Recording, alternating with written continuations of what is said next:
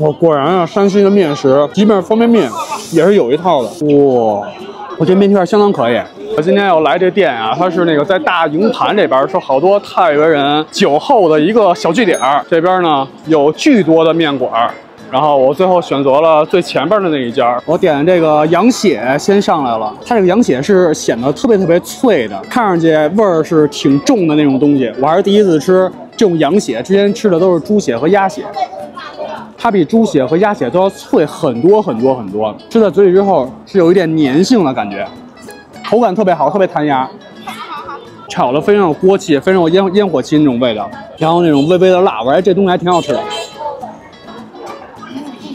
这有羊血，再来一锅腊八蒜来解解腻。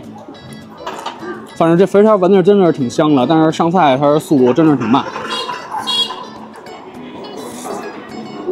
那它这肥肠好吃哎，外边是稍微有一点点红的，应该是那种就是可能是提前卤过，然后再炒的那种肥肠，吃起来就是格外的香。然后它里边呢有一些尖椒，有一些蒜，好吃哎这肥肠。它这个肥肠呢里边是留有一些油的，它并没有弄得那么干净。其实这个肥肠留点留点油，反正我是觉得好吃。我估计在这吃一碗肥肠面，最起码得等四五十分钟去，希望别白等。这一碗石头这的那个灌肠，说实话还挺出乎我的意料的。它跟灌也没关系，然后跟肠也没关系，它这个就像一个一个的面，就像我今天吃那个碗托一样。然后里面呢是有一些辣椒段，然后还有一些这个豆芽菜，它闻起来是非常非常香的，然后也是有很浓的锅气在。啊，哇，这灌肠好吃哎！我真没想到灌肠会这样。那这好吃，有没有太原本地的朋友能告诉一下我？这个东西吃起来又像面，但是跟灌肠又没有灌也没有肠的东西，到底是什么东西？它吃起来真的是那种特别特别香，有足足的面香味儿，然后混合着这个豆芽菜的味道，还有一股热锅快炒的烟火气。哦，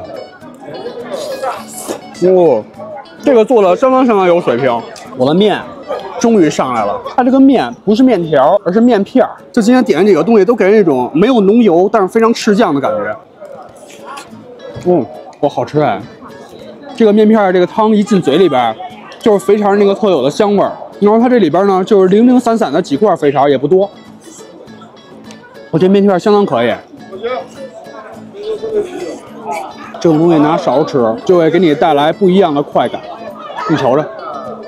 深夜的这一勺肥肠面，虽然满满的碳水，又加上肥肠，但是一点罪恶感都没有。这爱罪恶不罪恶，但是价格摆在这儿呢啊，唯一的缺点就是肥肠少一点。哎，但是点了这一份肥肠，就真的派上用场了。再来一点这个鸭血，往里边一拌，真的就完全不一样了。就这一口，我的妈呀！加上羊血加肥肠，再来一口面哦。哇，好香啊！这个我靠，太原的小伙伴们，每天晚上也小小来一口这个，太幸福了。嗯，我感觉所有面食到了山西怎么做它都好吃。哦，今天虽然点了三个菜，但是我感觉可以吃一个爪干毛巾。来一口腊八蒜来解解腻。哦。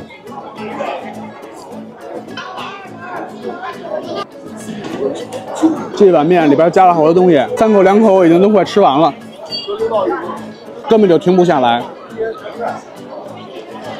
这个面的味道，我说为什么吃的那么似曾相识？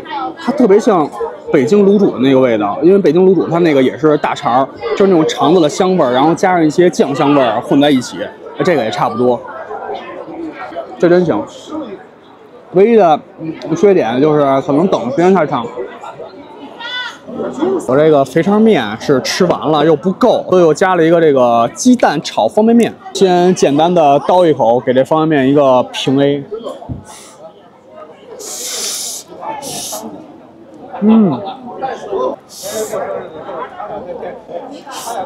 我果然啊，山西的面食，即便是方便面，也是有一套的。哇，马上就一点了，感觉今天吃的这家夜宵呢，是一个可以把太原夜宵文化发挥的淋漓尽致的这么一家小馆子。开了三十多年的一个肥肠面，虽然等的时间稍微的有那么一点点的长，但是我觉得还是值得的。尤其是这个肥肠面，真的是值得等的。那今天就先这么着，咱们下期见，拜拜。